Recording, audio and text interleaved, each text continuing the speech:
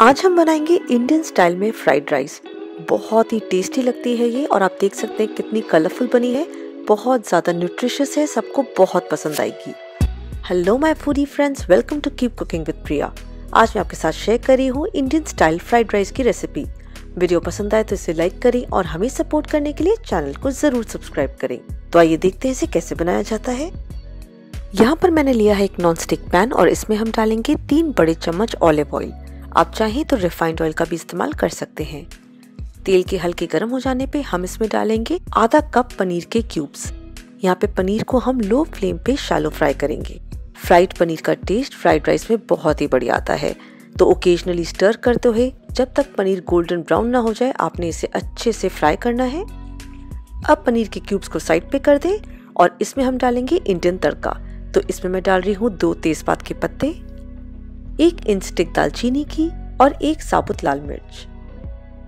इसी के साथ हम इसमें डालेंगे एक बड़ा चम्मच बारीक कटा हुआ लहसन और एक बड़ा प्याज रफली चॉप करके।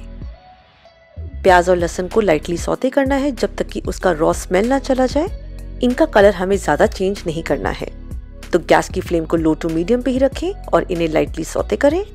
इसके बाद हम इसमें डालेंगे एक चौथाई कप गाजर रफली चॉप करके और इसी के साथ हम इसमें डालेंगे एक चौथाई कप हरी मटर। यहाँ पे मैं फ्रोजन मटर का इस्तेमाल कर रही हूँ। अगर आपके पास ताज़ी मटर अवेलेबल हो तो उसका यूज़ करें। इन्हें भी लाइटली सौते करें और अब हम इसमें डालेंगे शिमला मिर्च। यहाँ पे मैं एक ग्रीन कैप्सिकम और एक रेड कैप्सिकम का इस्तेमाल कर रही हूँ। आप चाहें तो कलरफुल बेल पेपर्स का यूज़ कर सकते हैं और अगर आपके पास सिर्फ़ हरी शिमला मिर्च हो तो उसका इस्तेमाल किया जा सकता है। कैप्सिकम्स को हमें क्रंची ही रखना है, इन्हें ओवरकुक नहीं करना है। अब इन्हें साइड पे कर दें और अब हम इसमें डालेंगे एक बड़ा टमाटर कद्दूकस करा हुआ। इंडियन स्टाइल में फ्राइड राइस बना रहे हैं। टमाटरों को ज़रूर डालें, बहुत ही बढ़िया टेस्ट आता है।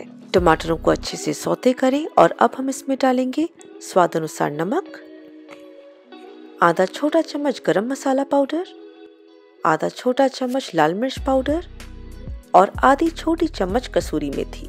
इन्हें भी अच्छे से मिक्स करें, मसालों को सौते करें और अब हम इसमें डालेंगे कुछ सॉसेस तो यहाँ पे मैं यूज़ करी हूँ एक चम्मच डार्क सोया सॉस का, एक चम्मच चिली सॉस का और एक चम्मच ही टमेटो केचप का।